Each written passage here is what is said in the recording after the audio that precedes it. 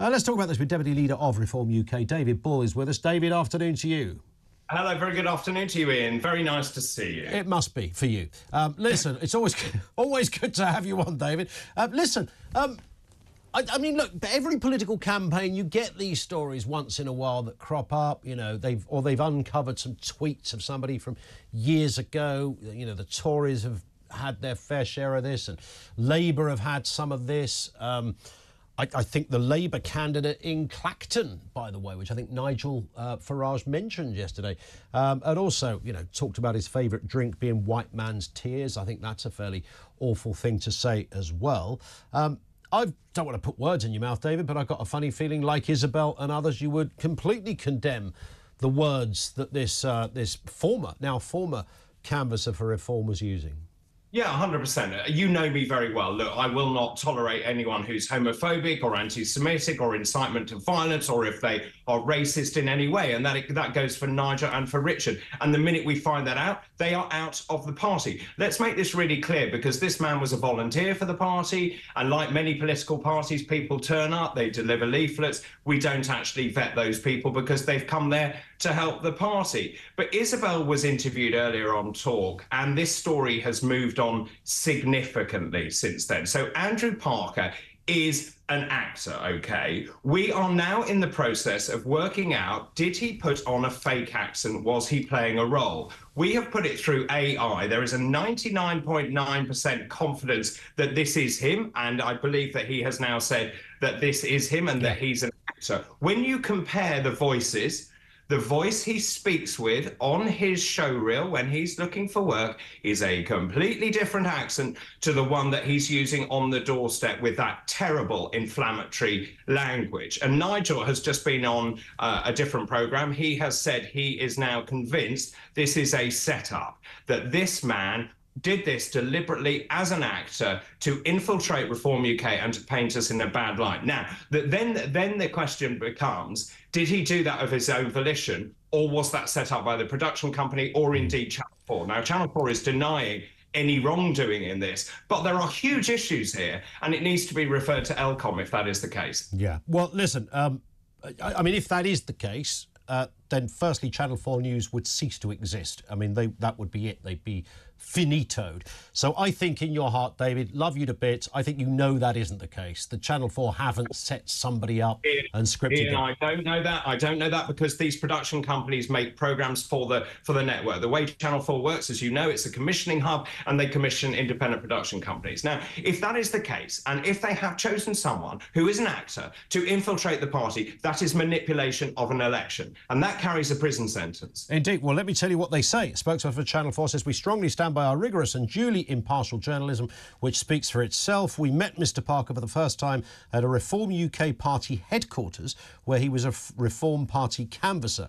We did not pay the Reform UK canvasser or anyone else in this report. Mr. Parker was not known to Channel 4 and was filmed covertly via the undercover operation. Now, if he's lying about that, uh, or if he's putting on a voice, either in the film or on his show reel, whatever way round it is. I mean, he, he's pretty good, an actor. And by the way, I don't think if you look at, I don't think he's really an actor, David, is he? He's a bloke that's on, you know, the, the books of an extra agency. No, he is an actor. And well, actually, he calls himself an actor, but well, I don't. I mean, he, he, says he's been in lots of movies. He says he's been in various um, dramas on network television. That makes him an actor in well, my yeah, book. but I think there's a difference between people who you know work in Tesco and do uh, and, and do a, a, kind of you know they're on the books of an extra agency. Loads of people do that. Ian, if, if you talk in a completely different accent normally, yeah. and then you're canvassing and you say, "All right, this is what I think in this kind of put on voice," then you are acting. You are behaving in a role. And the reason that this is happening is because people are so frightened of the groundswell of opinion for Reform UK. As you know, we are polling at 18, 19, 20%. So we've overtaken the Conservatives. There are forces at work that do not want Reform UK to do well. And that's what we're up against. Do you think, though, uh, so is, is the smart money from what you're saying, David, on the fact that he is the infiltrator, he himself, that, and we have to be careful because he would deny all of this, but he is the one that would have known that he's going to go out canvassing on the same day that Channel 4 were out filming. Uh, was the accent that he put on was that his real voice? It sounded like a bloke's real voice, but as you say, people can do all sorts. And he put on a voice on his show reel. It's hard to tell. You know, was he, you know, doing a show reel, or was he doing the kind of mockney thing that, you know, I'm sure you and I have done it. When you get out of a cab, you go, "Thank you, governor," um, even though it's not how you would spit. I don't know what he was. So, so what? Which one uh, is it here? What do you think? Which uh, we're dealing with here, David? Well, well, let's just take this step by step. We're now analysing that video, and when and we I already have the video where we juxtapose his normal speaking voice, and we then put it next to the voice that he used when he was canvassing. They're entirely different. They're entirely different, and that then begs loads of questions. And you are right to ask those questions. Did he do it of his own volition? Was he set up to do it by the production company? Did Channel Four know?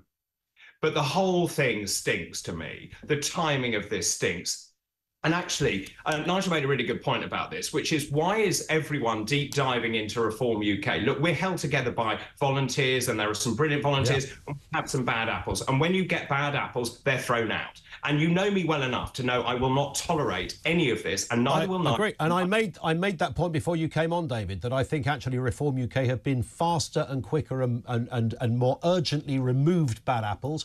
I think when you're a new party and people are throwing themselves in, Actually, I think your task of trying to winkle people out is even harder than established parties. We saw the Tories drag their heels on betting. We've seen Labour drag their heels on anti Semitism.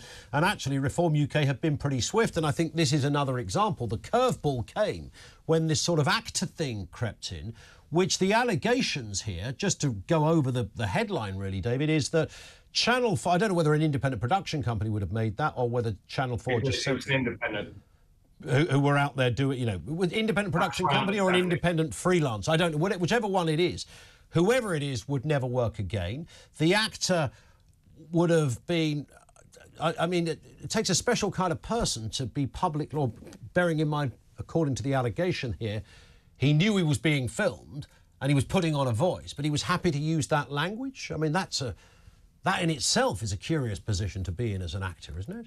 I can only give you the facts, and those are the facts as they stand. And obviously, this is an ongoing legal matter. We've instructed uh, lawyers now to look into this, and there are some big questions to be answered by the independent production company and by Channel 4 itself. And actually, what this says is that if there has been electoral interference, that is a very grave move. And if Channel 4 is complicit in any way, and if they knew something before this and then they broadcast it, then as you rightly say, Channel 4 is in serious trouble. This Huge. is a legal matter. That would be a, a, fine of hundreds of thousands of pounds from the uh, the, the, the, Ofcom characters. Uh, but also, I would imagine as a news organisation, the news side at the very least would have to fold. I don't know whether they would want to take that risk. I guess just in closing, David, um, this man is no longer, or whatever he was before. Uh, I mean, there is an image volunteer. of him saying he was a volunteer for the party. So, do we acknowledge that uh, whilst he claims to be an actor, uh, to what degree or how busy he was is another story, but he was officially a volunteer for Reform UK? Well, he pitched up and he delivered leaflets, so that makes him a volunteer. You know, he said he knew Nigel. He'd met Nigel once, as far as we can understand. Lots of people meet Nigel every single day. He's the most prominent politician in this country. And actually, I, I just think the whole thing is a very tawdry and sorry affair. But make no mistake about it, Reform UK is rising in the polls, and it doesn't matter who throws what at us. We intend uh, to triumph. Is this a little? I mean, you've been accused of going a bit Trumpian on this. You know, slaughter the mainstream media get people on side. The establishment are against you. Nigel has fought all of his life, of course, against institutions and stereotypes and all the rest of it. The Coutts Bank debacle is one example over there in Holland when the free speech conference was going on, and you know they tried to shut it down while Nigel was. He, he's he, he's been there. The party, you know, your party because you are different and you are to those people that support you adventurous and spot on etc but what comes with that of course is you know criticism along the way. Suggestion here is that what you're doing is playing the kind of trump card blaming the mainstream media. It's yet another attack on our party. Poor us because we're doing well and the mainstream media hate us. And that plays well with some people as you know Ian, that is complete rubbish. As you know, we've been fighting really hard to get mainstream media coverage of our campaign. And the way that the system works, as you know, it depends on your results from the last two elections. So obviously, if you didn't stand in those elections, you don't get the airtime. That is why we are doing these huge events around the country. That is why thousands of people are turning up. That is why we are live streaming all these events, because we need to get the message out about Reform UK. And actually, under First Past the Post, it is incredibly difficult for a small insurgent party party to do well. And I have to pay credit to Talk TV because they do cover us because they are not afraid of the truth of what is going on there. But I cannot say the same about the BBC and about ITV and indeed Channel 4.